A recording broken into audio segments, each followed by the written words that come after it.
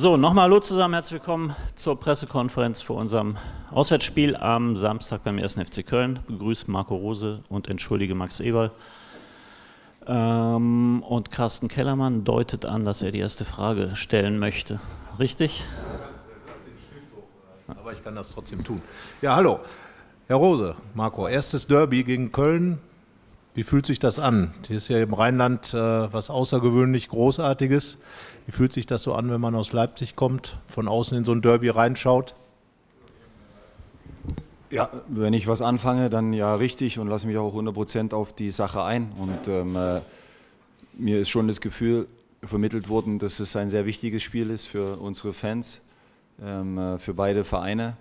Und dementsprechend äh, nehme ich das natürlich auch auf, nehme es wahr. Und wir wissen, glaube ich, alle, ähm, äh, dass wir dort dann am äh, Samstag in Köln auch in der Pflicht stehen, unser bestmögliches Spiel abzuliefern.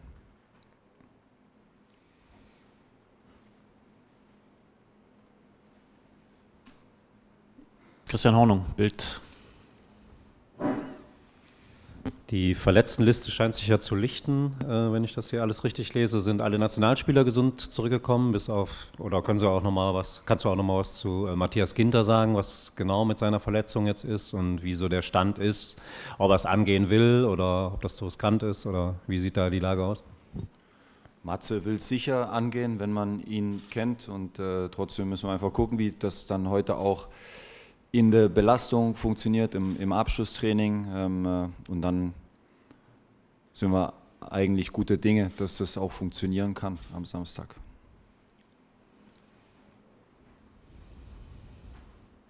Achim Müller, Express. Marco, was kannst du uns zum ersten FC Köln sagen, Aufsteiger? Ähm, ihr werdet ja analysiert haben, was erwartest du da für eine Heimmannschaft? Wie werden die wahrscheinlich spielen? Ja, auch in Köln äh, gibt es ja, gibt's ja einen neuen, Tra neuen Trainer ähm, äh, mit einer etwas neuen Spielanlage. Es äh, sind viele neue Spieler dazugekommen. Ähm, auffällig ist sicher, dass sie äh, auch sehr stark, vor allen Dingen im vorderen Bereich, über, über Physis kommen. Ähm, mal schauen, ob Cordoba spielt. Habe heute oder vor uns kurz gelesen, dass er topfit ist. Ähm, Modest äh, vorne drinne.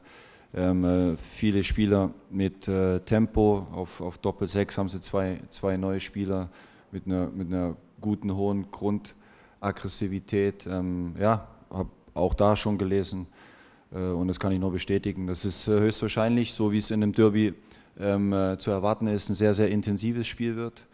Äh, und es wird eine sicher hochmotivierte Kölner Mannschaft auf uns treffen, die natürlich zu Hause dann klar abstecken will, äh, ihr Revier abstecken möchte. Und wir fahren dahin, um zu zeigen, dass wir in der Lage sind, dagegen zu halten, äh, Fußball zu spielen und äh, am Ende auch um das Spiel zu gewinnen, natürlich. Carsten Kellermann, nochmal. Ähm, es ist ja auch der Auftakt der ersten englischen Woche in dieser Saison. Wie, in welche Rolle spielt auch das bei den A-Personalplanungen und natürlich auch grundsätzlich fürs Gefühl in so einem Spiel? Aus so einem Spiel rauszugehen dann auch?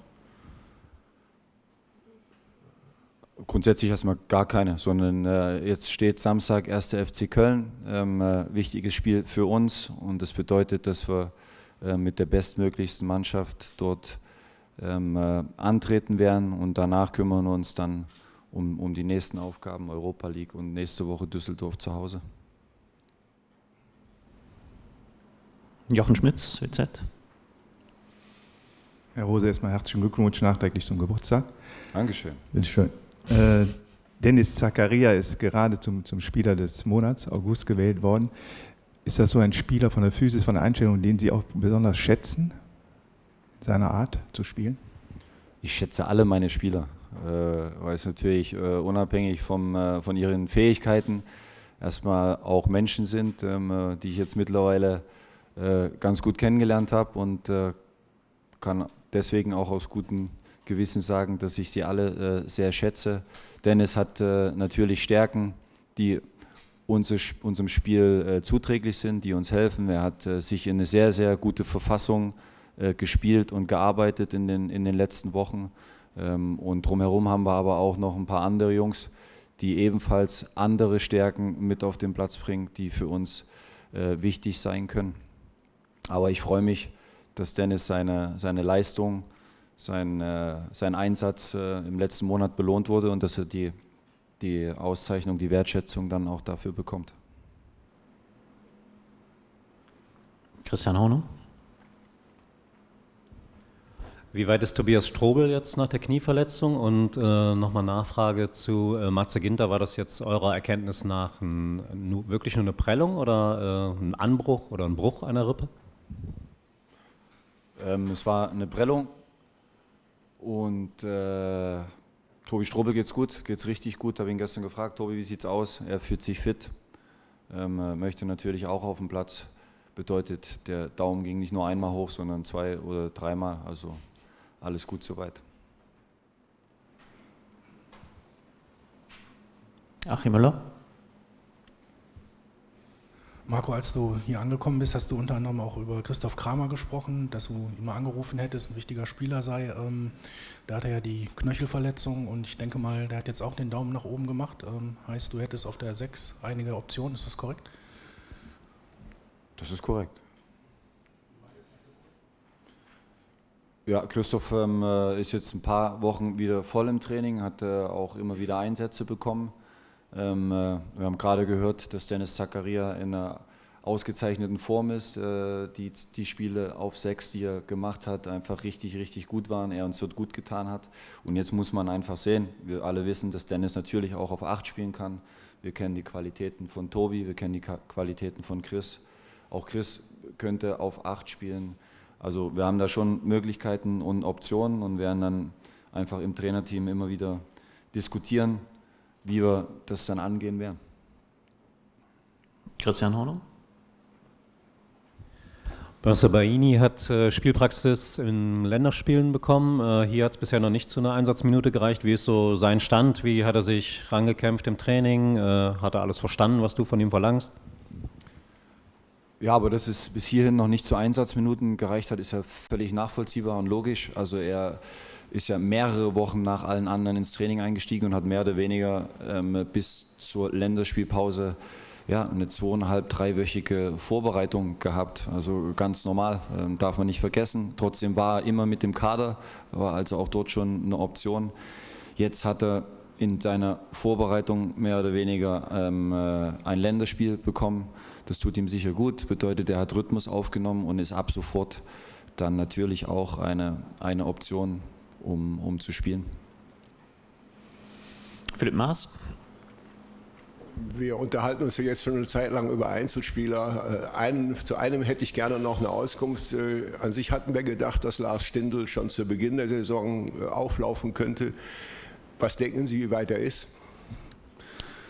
Ja, diese medizinischen Fragen an mich, die sind, die sind immer schwierig. Also ich bin natürlich informiert, ähm, äh, gut informiert auch, aber trotzdem bin ich kein Arzt. Äh, und ich glaube, äh, vor allen Dingen nach so einer schwierigen Verletzung, nach so einer schwerwiegenden Verletzung, die, die Lars hatte, ähm, äh, kann man keine, keine fixen Daten, Tage, äh, Abläufe festlegen, sondern man muss einfach Step by Step jeden Schritt gehen, der, der zum Reha-Prozess dazugehört. Und das bedeutet, beinhaltet auch immer wieder äh, in Phasen viele Schritte, gute Schritte nach vorne und dann aber auch mal wieder Stagnation oder vielleicht sogar einen Schritt zurück. Ähm, ich kann nur sagen, dass er im Moment, und da freue ich mich drüber, relativ häufig schon auf dem Platz ist. Ähm, aber noch individuell trainiert, das bedeutet noch im, im, im Reha-Training ist und wir hoffen natürlich, dass wir ihn jetzt in den, in den nächsten Wochen dann auch langsam äh, in, ins Teamtraining integrieren können. Aber auch dann wird es noch mal ein paar Tage dauern. Also ich glaube, das Wichtigste ist einfach, dass wir am Last Tag keinen Rucksack aufsetzen. Die Jungs, die verletzt sind, auch Hoffi, der fährt gerade drüben Rad, ähm, wollen alle so schnell wie möglich äh, zurückkommen und äh, arbeiten alle sehr hart dafür. Und äh, trotzdem müssen wir alle so geduldig sein und warten, bis der Tag da ist, wo es dann wieder funktioniert. Christian Hornung. Das Thema ist für alle Vereine gleich, aber kannst du nochmal erklären, wie schwierig ist so eine Länderspielpause, wenn du äh, mit nur einem Teil der Mannschaft neue Dinge einstudieren willst und äh, die Mannschaft ja noch weiterentwickeln willst und ähm, sehr viele, sehr wichtige Spieler können daran nicht teilhaben oder dann erst jetzt wieder in den letzten drei, vier Tagen? Ach, ich finde das gar nicht schwierig, weil es einfach dazugehört und es ist ja planbar. Also wir wissen ja, was auf uns zukommt. Wir wissen, wer Nationalspieler ist. Wir freuen uns, dass die Jungs ähm, äh, gerne für ihr Land spielen. Wir freuen uns sehr, dass wir auch hier in Mönchengladbach viele Nationalspieler äh, haben, wollen gerne auch noch mehr entwickeln. Ähm, und die Jungs, die dann da sind, die arbeiten an den Dingen, die wir ja, vorantreiben wollen. Also unsere Spielprinzipien. Ähm, natürlich dann immer wieder auch in kleineren Gruppen. Dann haben wir ein Testspiel, wo wir ähm, äh, ja, zum Glück elf Mann noch zusammen bekommen haben, um, um auch ähm, Matchpraxis zu kriegen für die Jungs, die dann vielleicht auch weniger gespielt haben. Also insgesamt ähm, äh, sehe ich das dann doch eher positiv und es gehört einfach dazu und wir haben die Länderspielpause, glaube ich, ganz gut genutzt auch.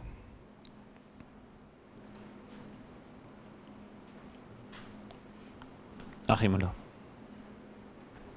Marco, ich habe mal nachgeschaut, du hast als Spieler ja in Leipzig unter anderem einige Derbys mitgemacht, äh, als Trainer jetzt auch in Österreich, jetzt das erste in der Bundesliga, das wirklich große.